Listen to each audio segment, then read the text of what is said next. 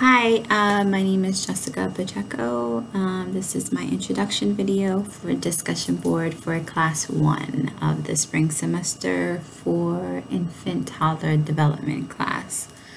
Um, again, my name is Jessica Pacheco. I'm 32 years old. This is my second semester at NCC.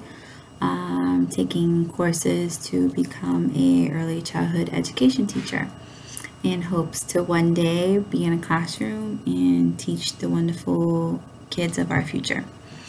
Um, I currently am a full-time worker for the LVHN network. I work in the healthcare setting.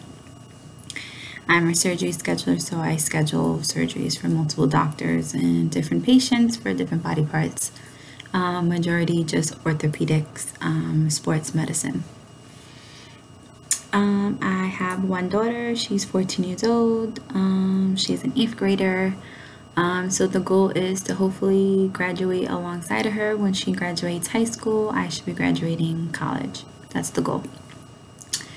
Um, let's see. Uh, uh,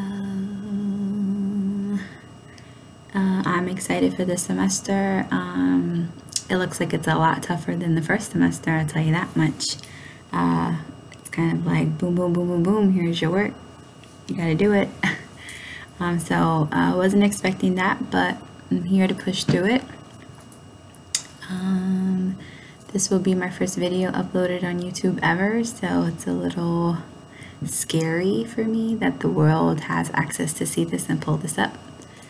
Um, I don't have a NCC uh, actual physical ID. Um, I've been doing everything virtual um, but it's me.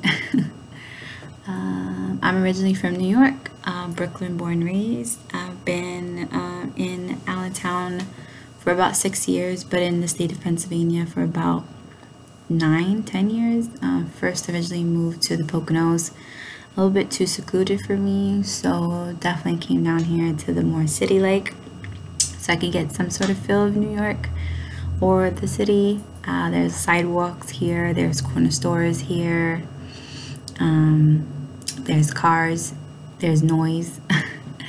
so that kind of brought me back home. Um, so I like it, I enjoy it. Um, I like to go back to New York to visit. Uh, my is out there. Um, I like to play sports. I like to be a mom. I like to read and I love working with children. So I hope have a successful second semester and I wish everyone the best and thank you for taking time to watch this.